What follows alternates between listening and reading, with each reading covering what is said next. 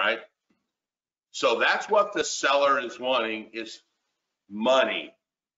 Now, the closing is created or commenced by the title company or the settlement company. So there on page 255, 250, I can't even see, 258, probably should teach with my glasses on so I can see. On page 258, the title company is the one that will do all of this closing. Now, here's how this is going to work. Let's see if we can get this.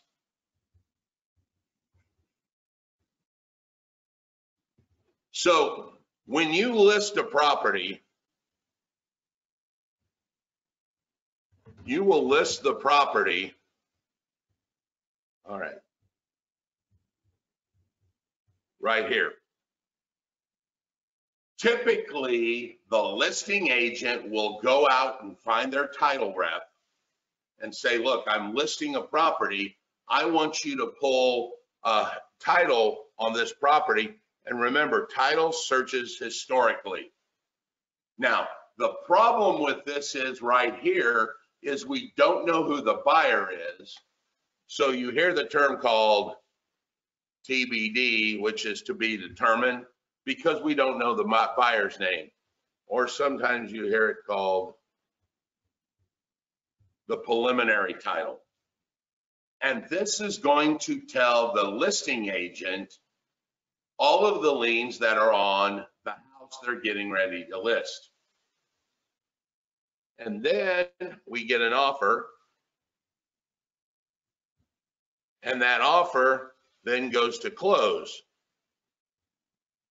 This is that 30 days that you put time is of the essence when you write the offer. Who knows how long this is, all right?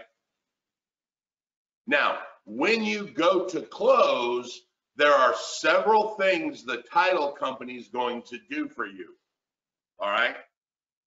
So right before closing, they're going to pull title work down again from here because remember they pulled it here, but now they're going to check the date one more time from the day of closing back to the original day they pulled the preliminary title.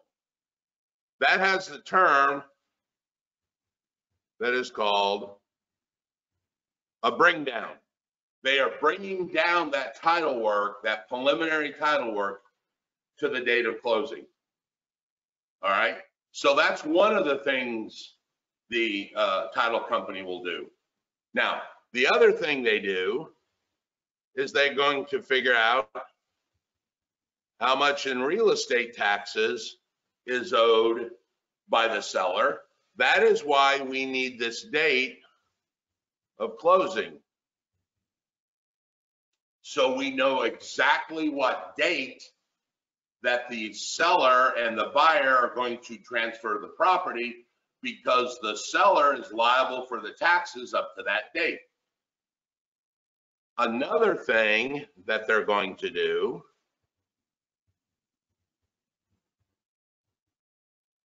is get the seller's payoff. All right. The seller has a loan on the property, probably. Maybe it's free and clear but probably has loan. So the title company is going to seek what is called a mortgage reduction certificate, meaning what is the payoff value on that March 1 date. And that number is going to be some weird number because it's exactly to the penny. The seller owes $123,418.56 on that date. All right. That's how much the title company will know to send to pay off the seller's current mortgage. Thumbs up. So they're going to seek that payoff. The other thing that they're going to seek right here is called a seller's affidavit. And I don't know if I can spell affidavit. In Indiana, we call this, uh, sure we do. I just lost it completely. Um, seller, doesn't matter. So follow me for a minute. Is it possible that the seller, the day before closing, goes out and borrows money and uses the house as a lien, but because of the delay in recording, it won't show up till way over here? Get it? Is that possible? Can you say that one more time? All right.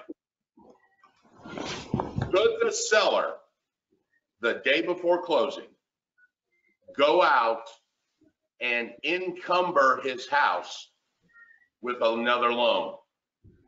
He could use it as collateral for anything. And because of the actual human delay in recording, it won't show up in the records until two or three weeks later. Is that possible? By the way, the sellers call it, Indiana calls it the affidavit of title. Yes. All right. So what this affidavit says, under perjury of law, that the seller has not done anything to the property that everybody doesn't know about already. So the seller is saying, I haven't done anything sneaky or tricky to put a lien on the property. You know about my Fifth Third mortgage, it showed up in the title work.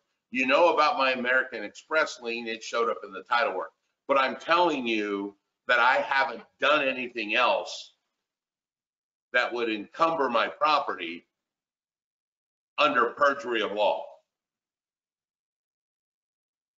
Questions? So you're saying that the seller could essentially go out and get another um encumbrance on the property if they haven't signed an aff, or if they haven't obtained an affidavit title? But if they got this, Affidavit is saying they didn't do that. oh, the affidavit is saying they didn't do that. Yes. Okay, Because in the real world, they could have done that. They could have suppose they had a court case and the judge sentenced them to a judgment against their person. Mhm. That could in essence put a lien, remember the Lis Pendens? Could put a lien on the property. Well, that's going to be a problem for the new owner because his lender is now not first. Because that app, that lien that the previous owner, i.e. the seller got, would be recorded first. So the new buyer's loan comes in thinking they were first, but they're actually second. right, okay, Got it? yeah, So what this affidavit says is the seller is declaring under a rule of law that I have done nothing that you don't know about to encumber my property. That's what this seller's affidavit. He will sign this at the closing table so that that also gives the buyer some peace of mind to go, look, we've got the payoff, we've got the lien, we got the receipt for the American Express. I want to make sure you didn't do something you're not telling me about. And the seller says, okay, I'll sign this affidavit of title that says I didn't. Now, I have seen this happen.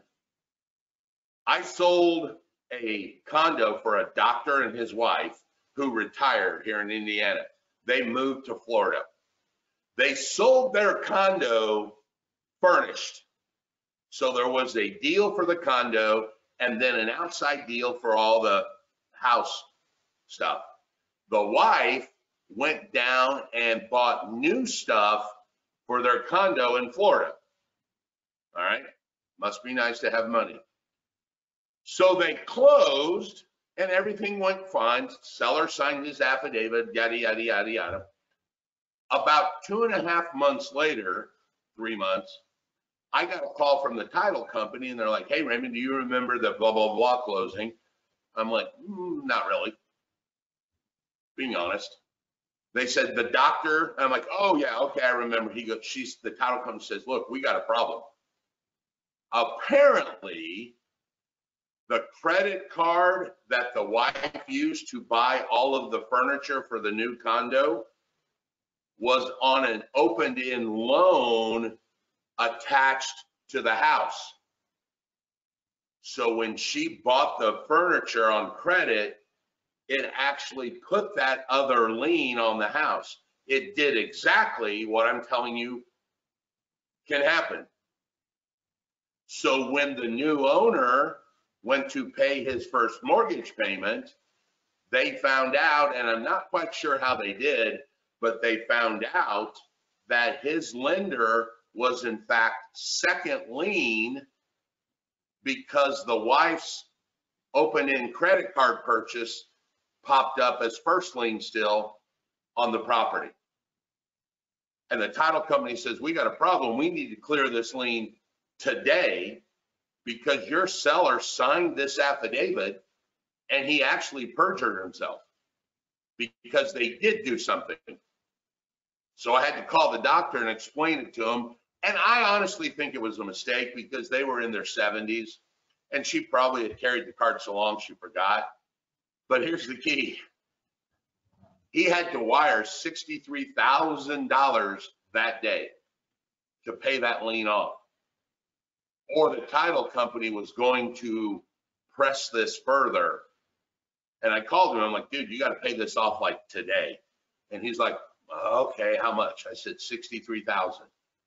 He's like, okay, I'll wire the money. So he literally wired the money to the title company and paid that lien off, which in essence, whoop, now the new owner's second lien slid up to where it was supposed to be. But he literally wrote a check for 63 grand that day.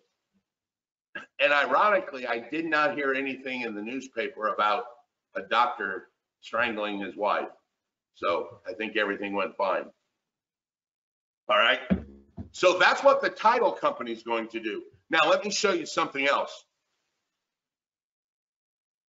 There is a second way to order title. Some agents wait till they get an offer and then order title work. Now, all the else same plays true. The day of closing, they will do the title work again. It is still called a bring down here, and they still will, title company still does all this. So there are typically, or technically two ways. The listing agent can order the title the day they list it, or they can wait until the offer and then order title work. All right. Both are acceptable, but here's the problem. Both are wrong or right. There are problems with both of these, and we'll see this today. If you wait until you get an offer, it is potentially possible that the offer you got doesn't clear the liens because the seller was not aware of all the liens he had on his property. We had this happen. He, he said, I owe 101,000. So we did that math and we figured out we could take 110. We took 110, took an offer for 110, accepted it, pulled the title work and found out that his $101,000 payoff was actually 102,300 because he had accrued late fees on the house payments he hadn't made. So in essence, we did not get enough money to pay off the mortgage company.